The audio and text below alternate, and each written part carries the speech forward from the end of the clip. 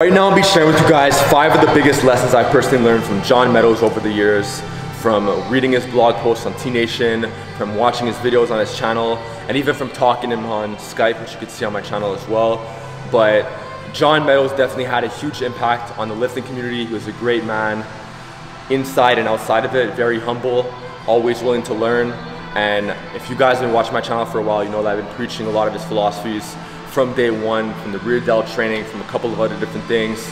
And I thought it was really important on my part to make this kind of video to show the biggest lessons I personally learned from from a lifting standpoint. So let's get into it. Meadows row. This is basically an exercise where you take a barbell, put in the corner of a landmine, and you start rowing, one arm at a time. You've probably seen people use an offset stance and do one arm at a time like so for the lats. The Meadows row is more focused on the upper back, rear delt region to give your back more of that pop from the side view. So basically the same principle, we're gonna stand on the side of the barbell. You're gonna go with an offset stance, as opposed to having the feet right next to each other, with an offset stance. And basically, if I'm rowing with my left arm, I want my left foot to be back, and I wanna keep a lot of that weight on my left heel. So I'm gonna go like so. I also, you notice I'm using 35 pound plate. If you use a 45, it's dramatically gonna cut the range of motion, so you wanna use a 25 pound plate or 35 pound. As far as the hand's concerned, you could put it either on your knee or you can even put your elbow on your knee. I'm pretty sure John was a bigger advocate of putting the elbow on the knee as well. I'm gonna lift it a slight inch off the ground and then we're gonna roll like so.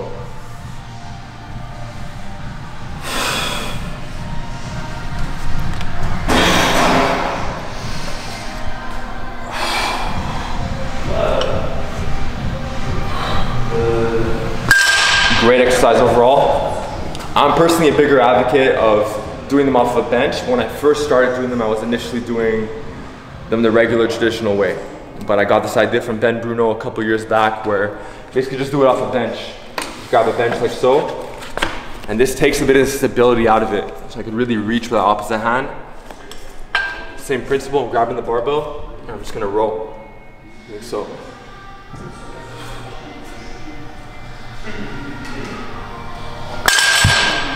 So that's the Meadows row. Okay, so secondly, and still staying on the topic of back, John Meadows is a big advocate of the rack dead from roughly the mid shin for building up the whole back overall. We're talking about the upper back, the lats, and a lot of thickness in the erectors. So obviously he pulled from the ground before, but he was still a big advocate of these pulls from the mid shin. If you come around, you'll see my rack wasn't low enough, still goes to this height, so I basically just took a block just put under for the sake of this example, but it's roughly around mid shin. Do it right here. Boom.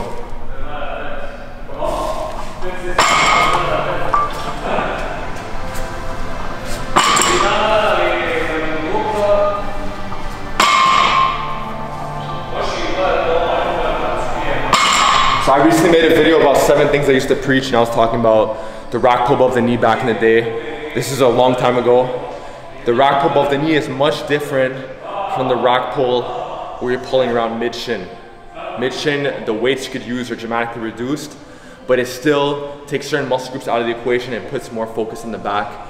You could use a lot less like leg drive, and the rack pull at mid shin is just one of those lifts where it's just great for back hypertrophy. This is why you see a lot of bodybuilders, for example, using them. They even pull off blocks, pull mid shin.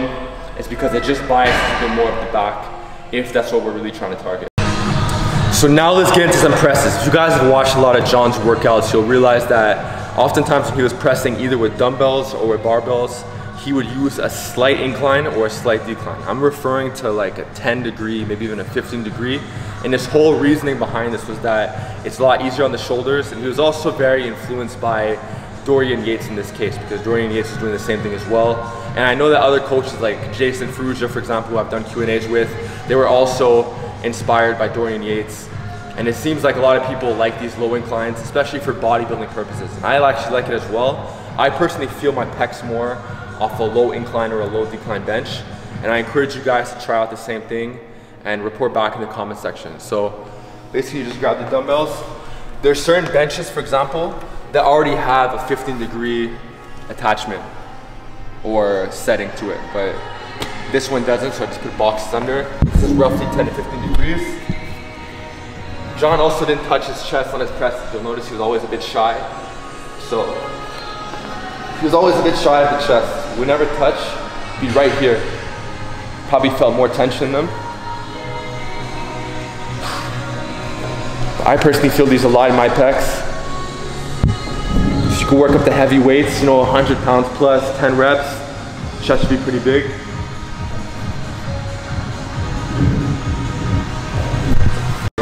So fourthly, let's get into some hamstring philosophies. This is hands down one of my favorite ones on the list, and I'm pretty sure John was highly influenced by Tom Platz, who's known as the quad father, who would really torture his hamstrings. But John's whole philosophy, or at least one of his philosophies on hamstring training was we're gonna train the hamstring curl, also known as the leg curl, before squatting. So he would use this as a form of warming up, but he would take the hamstring curl a lot more seriously. And what do I mean by this? He would do what's called mechanical drop sets. As you guys can see right here, I'm just using the one arm, the one leg at a time for the sake of this example. But let's say using two legs at a time in a seated variation. John was a big advocate of reaching failure on your leg curls. So you, can't, you cannot do any more. Then once you reach positive failure, we're gonna get into eccentrics. So you would just come up quick and then just lower slow as he could, just to milk the eccentric. Then when you can no longer do that, he would just get into heavy iso holds. So you see, you reach negative failure, you reach concentric failure, and you reach isometric failure. Until you're just fighting for your life just to hold in this position. Okay, so the last thing on the list, I can't talk about John Meadows without talking about what I've mentioned the most on this channel since day one. I took a break from talking about this, but actually recently got back into it, which is the rear delt swing. Everybody who's been following this channel for a while, you know that I was a huge advocate of this. For all you who don't know, it's basically a bottom half rear delt fly when you're chest supported where you're solely focused on the rear delt. Now you'll notice, for example, what happens if you take a, a rear delt swing with very light weights? It's too light. With, the, with that light weight though, it feels great when you're at the top half. But I'm assuming that John's philosophy was we're gonna really overload that bottom half. So basically all you're gonna do is you're gonna take heavier weights. You're gonna take the dumbbells, for example, them right here. Do these chest supported to really take the stability out of it. And John was not a big advocate of, you know, 8 to 12 reps on these. He was a bigger advocate of the higher reps. Really gonna torch the rear delts, 30 to 60 repetitions. And the fact that you're chest supported, it just takes a lot of stability out of it. So he was not going all the way up. It was, he wasn't staying here either because there's no range. There's no active range of motion here. So he'd be like right here, shoulder width, and he would just let them swing. But notice on the swing, on the eccentric, he would control it. So he'd go a lot heavier than this.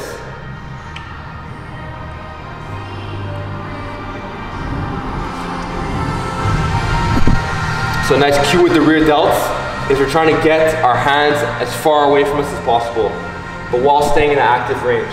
So it'd be like right as far away from us as possible while staying close to the ground. So like this.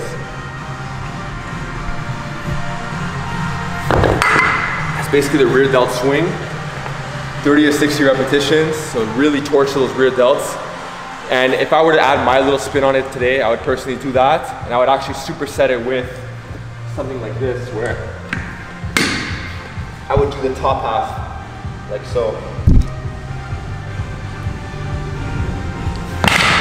So that pretty much wraps it up. Those are the five biggest things I personally learned from watching John Meadows over the years, the Q&A I had with them, from reading his old articles on T Nation, and I'm really happy that he had a, such a great impact in the fitness world. He really did inspire tens of thousands, hundreds of thousands of people worldwide to start working out, gave a lot of great quality advice, and may he rest in peace. So hope you guys enjoyed this video. I want to know in the comment section below, what are the biggest lessons you guys have personally learned from watching or just reading John Meadows over the years. I would like to know, maybe I could add these to the list. And with that being said, I'll see you guys next time.